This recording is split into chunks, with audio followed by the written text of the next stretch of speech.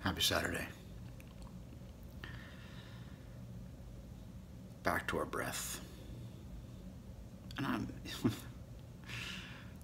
when I do these talks or when I check in, and I'm by no means an expert.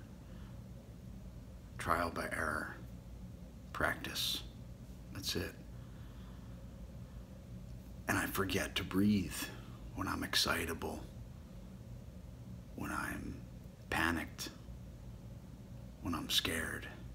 And it may be nothing that's going on around me at all. I could I can lose my breath through circumstance, through a story, talking to somebody on the phone, reliving a moment, being in resentment and anger or sadness and fear, anxiety and I forget to breathe. I forget to set my own tempo. Inhale that which feeds my body and nourishes my mind and organs and soul. Breath. I forget that so often. And it's that simple. And that can lead you to a place to get quiet and still and meditate.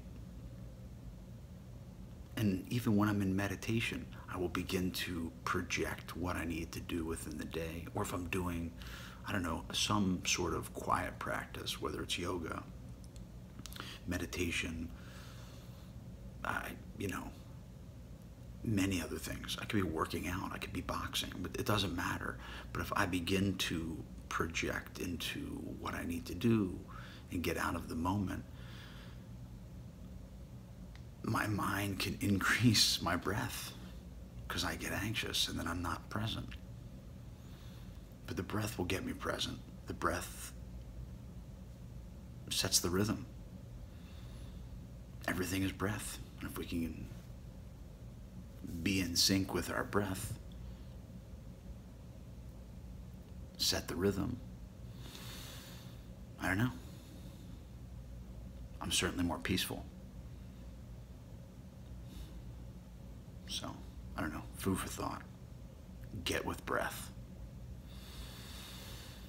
Don't let it overtake you. If you're anxious and scared, you might be breathing too fast or not breathing at all.